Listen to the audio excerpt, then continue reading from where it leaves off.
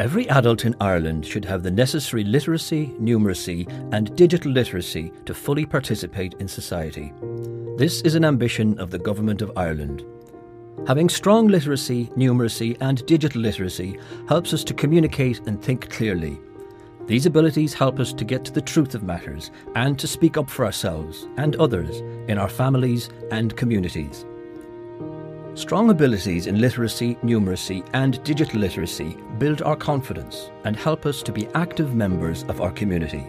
They help us in all facets of our life and make us more resilient.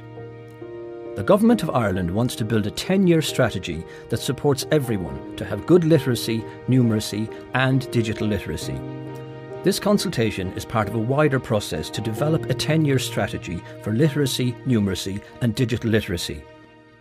We are seeking your views on what literacy, numeracy, and digital literacy mean to you. We would like your ideas on how we can improve awareness of services, information, and supports.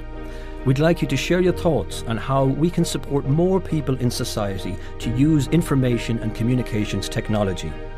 Finally, we'd really appreciate your input on what a 10 year strategy for literacy, numeracy, and digital literacy should prioritise and how we should measure our success over the next 10 years. Choose between completing a short 8 question survey or completing a longer written submission. You can also give your views directly by emailing alnd at solas.ie. Adult literacy, numeracy, and digital literacy for full participation in society, a Government of Ireland initiative.